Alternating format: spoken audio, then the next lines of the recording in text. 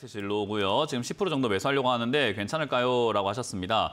뭐 일단 제가 뭐 이분하고 이렇게 대화를 할 수 없기 때문에 알 수가 없는데 뭐 현금이 얼마나 많으신지 그 종목이 아예 없는 건지가 궁금합니다. 어, 일단 종목이 아예 없는 상태라고 한다면 사셔도 괜찮을 것 같아요. 그리고 어, 종목이 이렇게 좀 많은 상태라고 한다면 저는 굳이 살 이유는 없다고 생각을 하거든요. 왜냐하면 저는 지금 이제 우리나라가 트럼프 당선인이 대통령이 되면서 이렇게 어, 우리나라에게 굉장히 안 좋은 이제 악재가 터졌다라고 보고 있기 때문에 우리나라 기업들에게는 안 좋은 영향을 줄 가능성이 상당히 높아요. 근데 뭐 그렇, 그렇다고 해갖고 하이트 진로가 뭐 미국에다가 소, 뭐 술을 뭐 소주를 엄청나게 팔아가지고 뭐 관세를 뭐 두드려 맞는 이런 이야기까지는 아직은 아닌 거잖아요. 그래서 뭐 그런 영향은 없겠지만 어쨌든 뭐 다른 영향으로 인해서 우리나라에 악재가 터져가지고 지수가 빠지게 된다면 얘들도 조금 밀리게 되거든요. 그러면 어, 어차피 빠질 거 지수가 조금 이렇게 불안하고 안 좋은 상황인데 다른 종목이 많다면 다른 종목들도 빠지는데 얘까지 빠져버리면은 이거 처리해야 될 종목만 많아지게 되는 거잖아요. 그래서 저는 종목이 이미 만세개 이상이다, 네 개 이상이다 이러면은 굳이 살 이유가 없다 생각을 하고요. 어, 저는 현금이 많아가지고 지금 주식을 안 들고 있어가지고 좀 살만한 종목이 필요한데요라고 하면은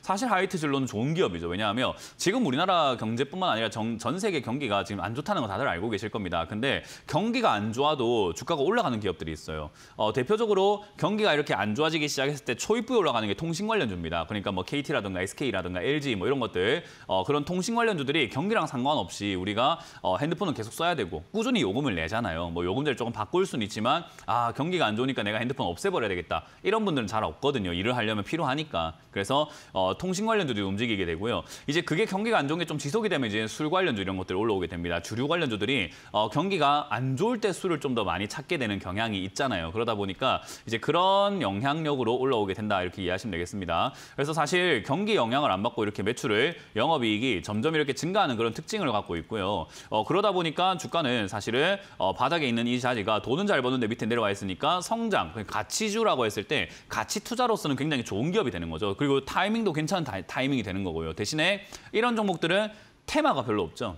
뭐 주류 테마 갑자기 뭐 AI가 술을 따라준다던가 뭐 AI가 칵테일을 삐리삐리 칵테일 한 만들어 보겠습니다. 삐리 이런 이런 거 하지 않을 거 아니에요. 그러니까 그런 식으로 우리가 기대할 만한 요소들이 별로 없다 보니까 뭐 엄청난 기대감으로 이런 식으로 올라가는 이런 형태는 코로나 때 이런 특수 상황 말고는 좀 힘듭니다. 그러니까 결국 단기적인 이런 반등 반응이라든가 시세를 내는 경우들이 많은데 어, 그런 시세를 좀 챙겨낸다 생각하고 좀 장기 투자로 가져가야 되거든요. 그래서 아까 말한 것처럼 마음의 여유라든지 종목이 없어가지고 내가 장기 투자로 좀 가져갈 만한 약간 헤지라고 뭐라고 하죠? 위험을 회피할 만한 다른 산업들은 좀 경기 안 좋을 때 밀릴 수 있는데 얘는 경기 안 좋을 때 오히려 올라갈 수 있으니까 반대로 움직이잖아요. 그러니까 그런 식으로 위험을 회피하기 위해서 좀 담아 놓는다라는 개념으로는 괜찮습니다. 오히려 그 왜 인버스 사시는 분들이 있거든요. 증시가 안 좋을 것 같으니까 인버스나 사놓을까 하시는 분들이 있는데 저는 인버스보다 하이트진로가 훨씬 더 투자 메리트 높다고 봅니다. 그러니까 위험을 회피하는 용도로서는요. 그래서 그런 관점으로 화이트 진로를 보험용으로 좀 담아놓고 장기로 가져가 보겠다 한다면 지금 매수가도 좋고 올라갈 가치가 있고 기업도 또 실적 잘 나오고 경기랑 별로 상관없다? 어유 금상첨화죠. 가져가는 건 상관없습니다. 그래서 이거는 시청자님이 그 작은 계획과